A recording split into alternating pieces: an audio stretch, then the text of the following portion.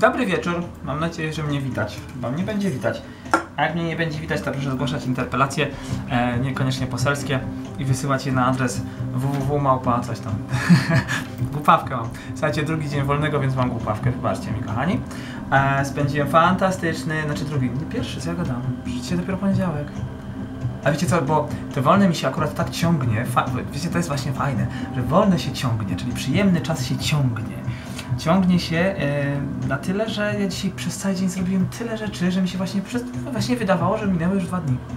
Nie? Pierwszy dzień wolnego, jutro drugi. Jutro w ogóle jadę szukać grzyba rano do lasu, bo jest czas na grzyby, a ja jadę szukać amanity.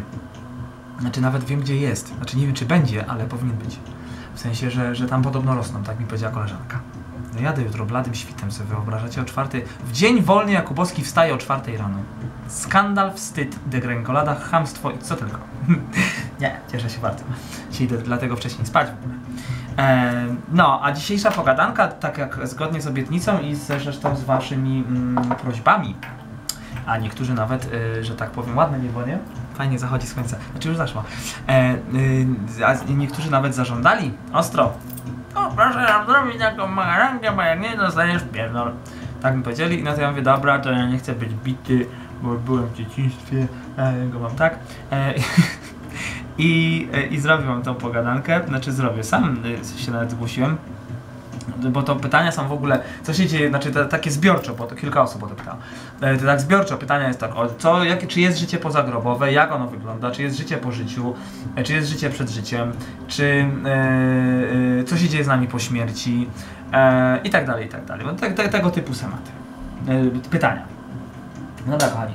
Ja nie wiem, co się dzieje z nami po śmierci. Nie wiem, czy jest życie po życiu. Pozostaje mi wiara. E, znaczy, to nie wiem, to by był taki żart. E, ja mogę powiedzieć to, co, mm, co ja uważam, że jest. To ja uważam. Niekoniecznie musi być, że wszyscy uważają. Ale ja uważam. W ogóle temat, y, temat śmierci, odchodzenia, bo to też jest właśnie ciekawe, e, że mm, zadajecie takie pytania, i zresztą większość z nas, ludzi, właściwie prawie wszyscy, zadajemy sobie pytanie e, o to, co jest po śmierci, co się z nami stanie w momencie umierania, i jest to z reguły, z reguły, nie zawsze, ale z reguły podyktowane strachem przed tym, co się wydarzy. Tak samo jak, a co zrobić, jak odchodzi bliska osoba, bliski piesek, kotek, no bliskie dla nas istoty, co ten.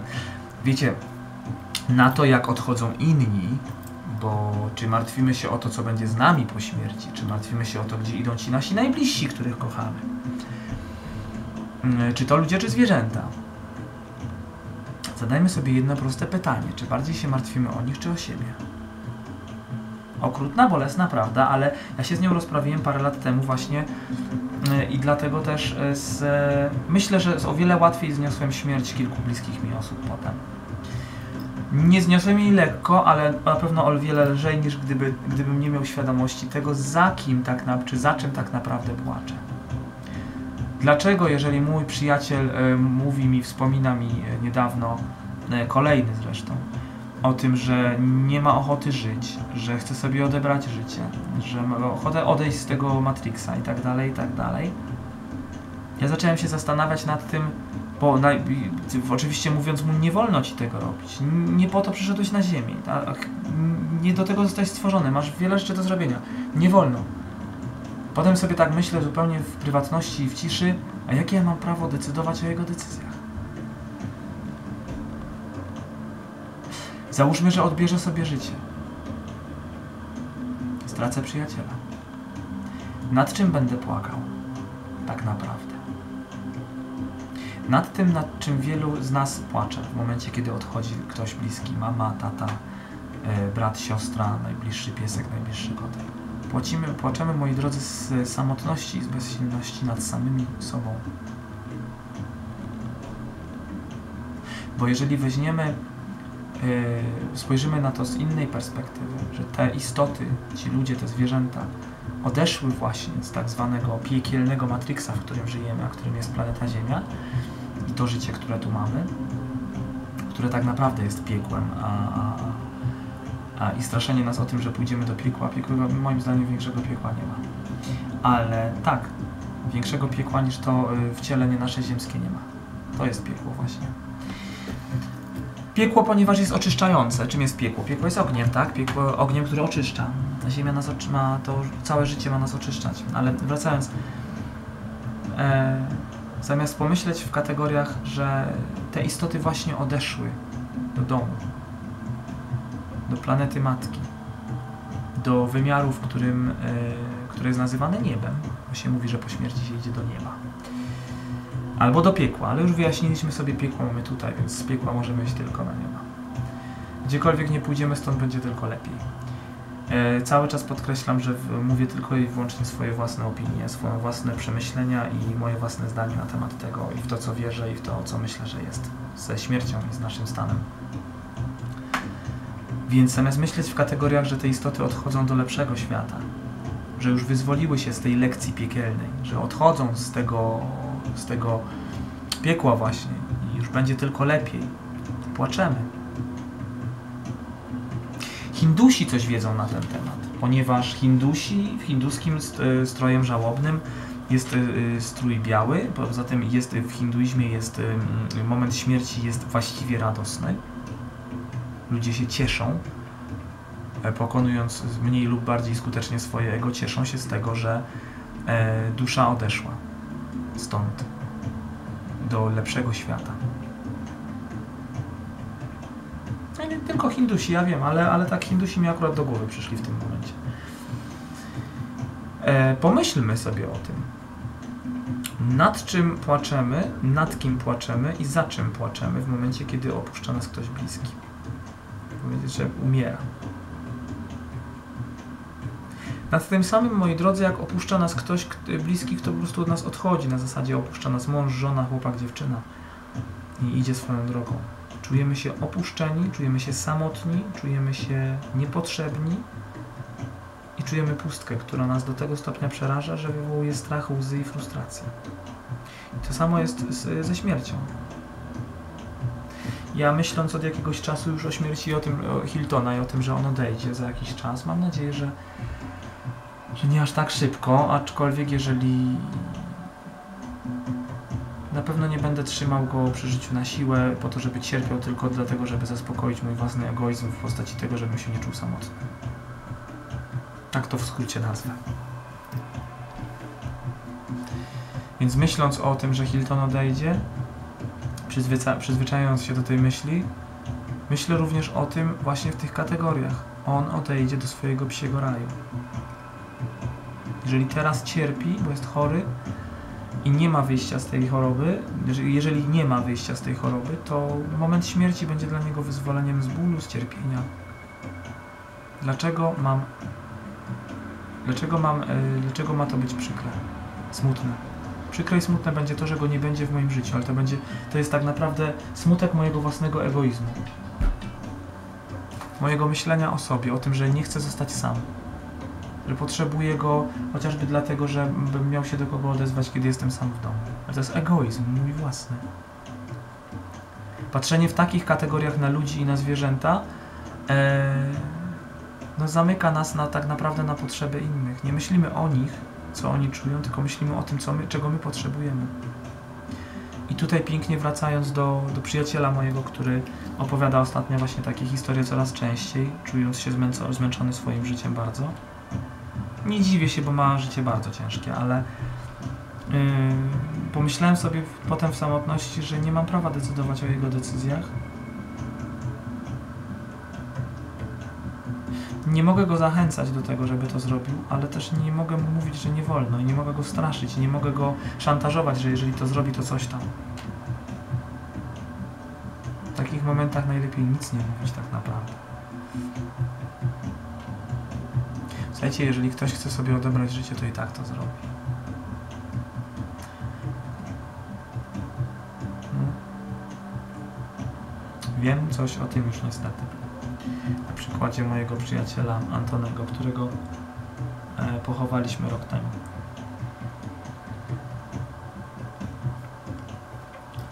Co jest po śmierci? Ja wychodzę z założenia, a patrzę na to przez pryzmat y, snów moich, to znaczy mojego odchodzenia w stan s- snu. E, ja nie wiem, może ja akurat mam taki przypadek w sobie, ale ja bardzo, ja bardzo intensywnie śnię. Y, ja dlatego lubię spać, bo y, i zawsze mi się coś śni, bo ja w tych snach y, bardzo często, właściwie od kilku lat bardzo często, w sytuacjach, które w tych snach mi się śnią, ja się czuję bardziej rzeczywiście niż w rzeczywistości, w której żyję. Tak jakby tam w tych snach był drugi świat, który jest bardziej prawdziwy niż ten, w którym żyję po przebudzeniu. Tutaj ten. Ta, takie, mam, takie mam nawet nie odczucie, a przekonanie. Ja w tych snach się bardzo dobrze czuję. Tam się dzieją różne sytuacje, ale tam jest zupełnie inaczej. Zupełnie inaczej pod względem bezpieczeństwa, energetyki, pewności siebie właśnie. Ten świat jest inaczej skonstruowany tam. Nie ma niewolniczej zależności przede wszystkim. I jest masa ciekawych doświadczeń, a dlatego lubię spać. I nie uważam tego za marnowanie czasu, jak niektórzy z mojej rodziny zwłaszcza mówili, że, że spanie to jest marnotrawienie czasu. Nie sądzę. Wręcz przeciwnie, moi drodzy. Ze snów można się bardzo wiele dowiedzieć. Więc myślę, że stan przejścia y, z życia tutaj do śmierci, w sensie, że nasze, dusza nasza postanowi opuścić tą powłokę i ten wymiar i udać się gdzie indziej, nie udaje się w pustkę. Udaje się do innego wymiaru. Udaje się do innej rzeczywistości, z której przyszła naprawdę. Tu po to, żeby się czegoś nauczyć. Sama sobie dusza wybiera, e, moim zdaniem, przed momentem urodzenia i wcielenia się w ciało ludzkie, wybiera sobie, jakie lekcje chce przerobić. Tego się mówi, że dlaczego niektórzy mają tak, inni mają tak, jeszcze inni mają tak. Sami sobie to wybraliśmy jako duszę. To życie, które ja mam, e, też zostało wybrane przez moją duszę, że mam się tutaj nauczyć wielu rzeczy, ja się uczę. Ja widzę, czego ja się jeszcze muszę nauczyć. Ciągle powtarzane przeze mnie błędy i sytuacje, które ciągle wracają, to są ciągle nieprzerobione lekcje i nierozwiązane przeze mnie sytuacje, z którymi sobie nie poradziłem, przed którymi uciekłem. One wracają i wracają. Aż ich w końcu przerobię.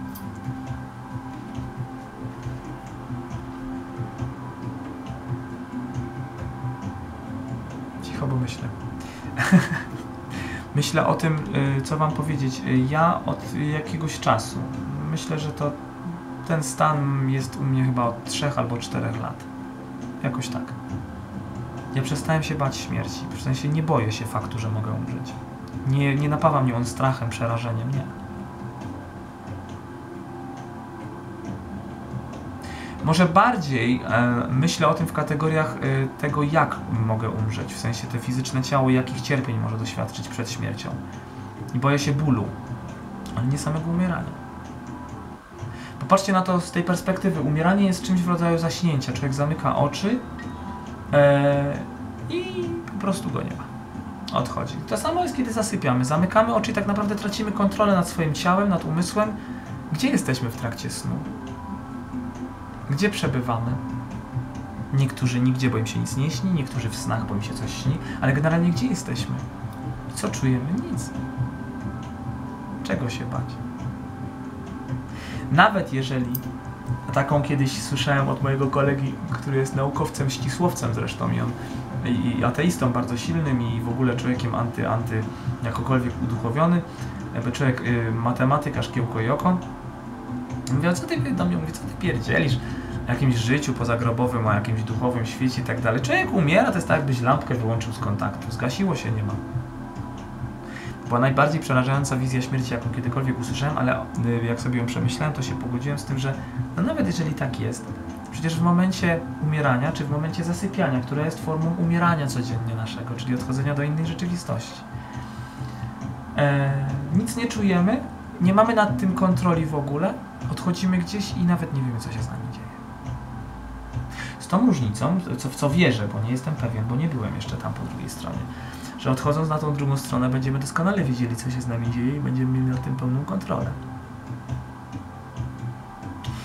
Ale y, myślę, że y, to jest bardzo ważne, żebyście sobie porównali ci, którzy, ci z Was, którzy mają paniczny strach przed śmiercią i boją się tego zjawiska, to chciałbym, żebyście sobie to porównali do momentu zasypiania. Tylko nie, żebyście zaczęli się bać zasypiać, bo to już była w ogóle paranoja.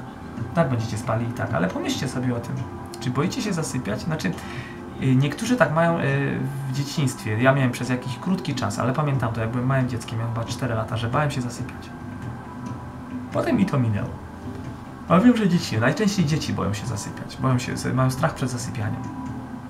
Jakby się właśnie bały tego, czego dorośli się boją w momencie śmierci, że nie wiedzą, co będzie w momencie, kiedy zamkną te oczy.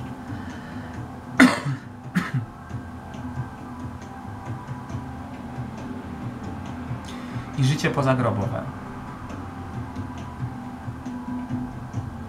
Myślicie o, o, o duchach? O tym, że są nawiedzone domy, że, że gdzieś straszy, jak to się mówi i tak dalej. No w ogóle najbardziej mnie zawsze bawi temat, y, moment, w którym ktoś mówi, że na cmentarzu duchy straszą. Akurat na cmentarzu duchów chyba prawie w ogóle nie ma. Najwięcej duchów to jest w szpitalach, domach starców, na polach bitwy, w miejscach, gdzie... ale duchów. Czego tak naprawdę? Bo nie dusz. Właśnie zobaczcie, zwróćcie uwagę na to, że y, używa się słowa duch, a nie dusza. W angielskim też jest ghost, ale nie soul. Duch, czyli moim zdaniem, to jest cień duszy. To, co zostaje i straszy, jak to się mówi, na przykład w nawiedzonym domu, to nie jest dusza człowieka, który tam umarł. To jest cień jego duszy, część, cząstka energii, która pod wpływem jakichś emocji być może została w tym miejscu przyczepiona do niego. Zupełnie nieświadoma, to jest byt nieświadomy, w sensie on tam po prostu jest i odczynia w kółko to samo, na przykład trąca garnki albo trzaska drzwiami. Zupełnie bez świadomości. Jak czasem widzę, są takie programy tu w angielskiej telewizji bardzo popularne, zresztą modne, tak zwanych uzdrowicielach domów i tak dalej, którzy chodzą i próbują, media, które próbują rozmawiać z tymi duchami. Z nimi się nie da rozmawiać. To są cienie duszy. To są byty nieświadome, zupełnie. To są byty energetyczne bez jakiejkolwiek świadomości e, i, i czucia. One po prostu wykonują automatycznie coś, na czym były prawdopodobnie na przykład skupione w momencie śmierci, albo na czym uwagę skupili w momencie śmierci. I część tego jako energia, jako te atomy energii zostały w tym miejscu. Ale to nie jest dusza. Dusza to tam, wiecie. I też nie jest powiedziane, że wszyscy idziemy do tego samego miejsca. Jak się mówi, że wszyscy spotkamy się w tym samym raju. Niekoniecznie. Nasze dusze mogą pochodzić z różnych wymiarów. Ziemia może być wspólnym mianownikiem dla nas tutaj się spotykających w tej chwili. Nawet my, ja i wy widzą. A w momencie śmierci każdy z nas może iść do innego wymiaru, z którego przyszedł. I nigdy się więcej naprawdę nie spotkać. Tylko wiecie, to spotkanie czy nie spotkanie. Po co sobie obiecywać, spotkamy się po tamtej stronie? Spotkaliśmy się tutaj skoro się tu spotkaliśmy, to, to doświadczajmy tego spotkania tu i teraz, a nie czekajmy na spotkamy się po tamtej stronie. Bo jeśli nie, to co?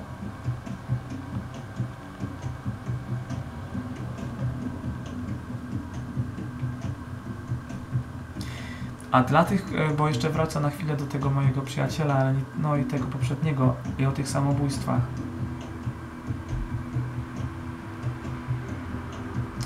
Naprawdę nie wiem, co powiedzieć na, na ten temat w sensie takim, bo, bo, bo, bo to z, ostatnio zwłaszcza moje przemyślenia mm, są tak rozbieżne w sensie takim, że nie chcę zabrzmieć, że zachęcam do czegoś takiego. Nie chcę mówić, że jest to dobre, ale nie chcę też potępiać i, i dlatego nie wiem, co powiedzieć.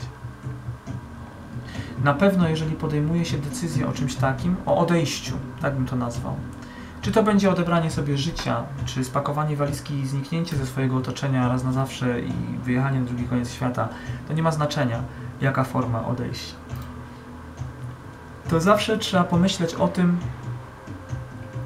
czy to odejście, y, jak to odejście wpłynie na ludzi wokół nas i czy są tacy, których y, nasze odejście, ich życie może zrujnować. Bo jeżeli tak, to się zastanówmy 10 razy zanim odejdziemy.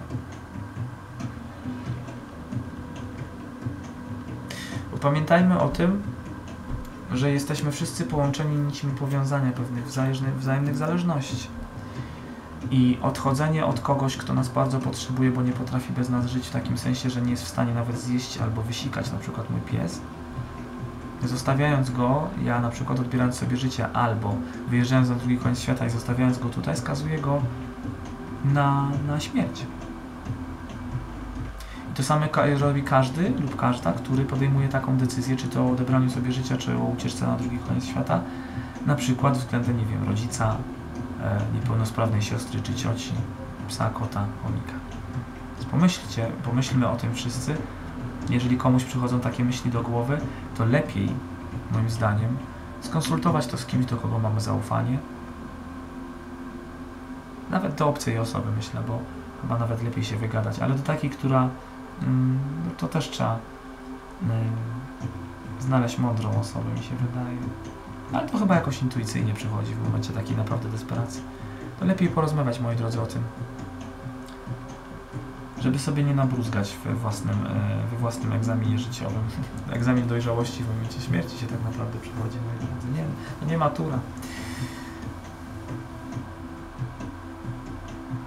Wiecie, temat jest tak zagmatwany i rozległy, że ja go w tej chwili tak skrótowo sobie omawiam, a chciałem odpowiedzieć na to najważniejsze pytanie, czyli co myślę o tym, co jest po śmierci i jak wygląda śmierć.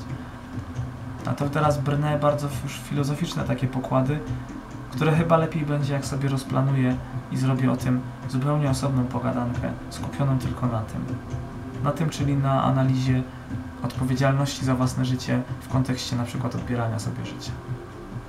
To samo podarżnięcie sobie żył, czy otrucie się czymś, czy skoczenie, z- skok z dachu, to z naszej perspektywy bum i koniec, nie? Tak, tylko że wokół nas zostaje masę istot, które są z nami powiązane. Jeżeli nasza śmierć wyrządza im krzywdę przeogromną, nieodwracalną, to, to samobójstwo wyrządzi o wiele więcej krzywdy nam samym niż pożytku. A chwilowa ulga wrócimy tu i przerobimy tą lekcję jeszcze raz, ale boleśnie. Więc lepiej się zastanowić. Ale mówię, to ciekawy temat nawet, więc zrobię z, o nim z, z zupełnie osobną pogadankę sobie. A tymczasem życzę Wam udanego wieczoru jeszcze. E, I życzę udanego poranka dla tych, którzy oglądają mnie rano. I udanego dnia dla tych, którzy oglądają mnie w ciągu dnia albo słuchają tylko.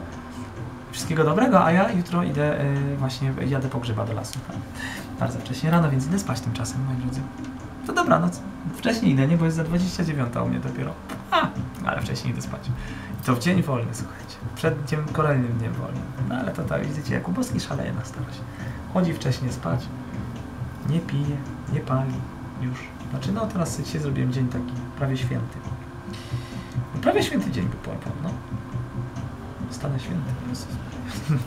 Do zobaczenia, moi drodzy. Pozdrawiam Was ciepło, serdecznie i gorąco. Pa.